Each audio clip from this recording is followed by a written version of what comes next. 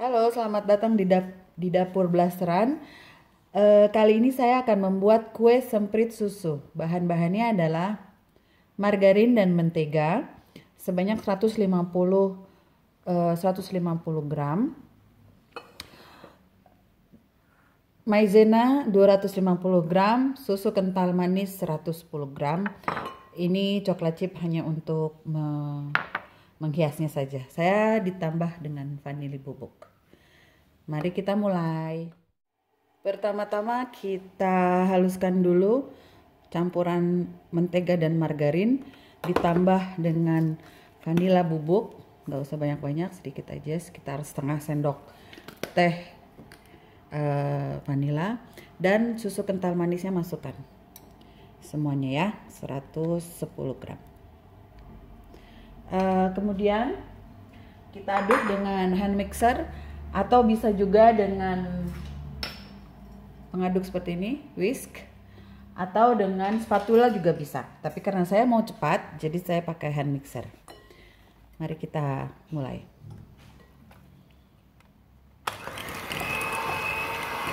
Setelah tercampur rata seperti ini, kita matikan ya.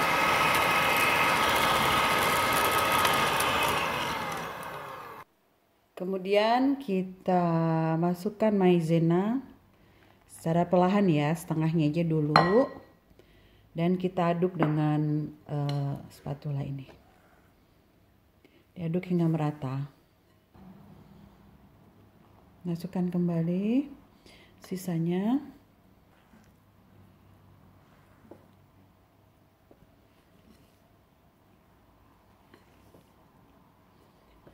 Um, sementara kita mengaduk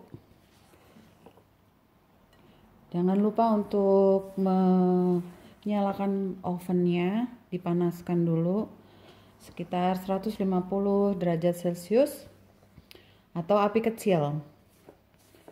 Api kecil aja ya. Dikarenakan nih adonannya udah agak keras maksudnya sudah menyatu ya. Kita aduk dengan menggunakan tangan aja ya memang adonannya agak sedikit padat nantinya. Nah adonannya akan seperti ini. Sudah jadi ya. Jadi tinggal kita cetak. Saya menggunakan cetakan ini lebih gampang. Nanti tinggal didorong. Atau dengan apa split yang menggunakan jari juga boleh. Tapi saya gunakan dengan ini. Jangan lupa untuk mengoles uh, loyang dengan dengan uh, margarin atau butter. Dan sekarang kita mulai mencetak ya.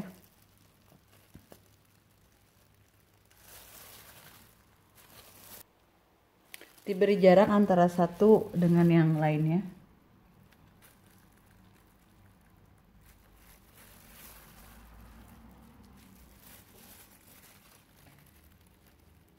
begini terus sampai habis setelah satu loyang seperti ini selesai kita hias dengan choco chips. Agak sedikit ditekan ya biar dia nggak lepas.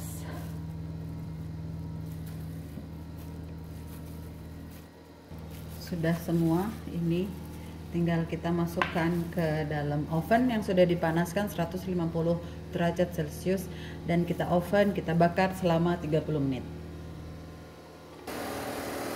sekarang kita oven selama 30 menit 150 derajat celcius atau uh, api kecil ya maaf ya ovennya agak berisik Oke, okay, so 30 menit. Sudah jadi, kita angkat ya.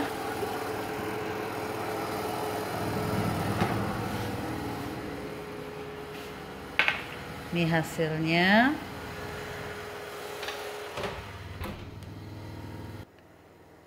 Dibiarkan saja dulu di atas loyangnya, jangan diangkat dulu, didingin di sini. Ini hasilnya begini ya. Ini renyah banget tuh sampai ini renyah sekali ya tuh renyah sekali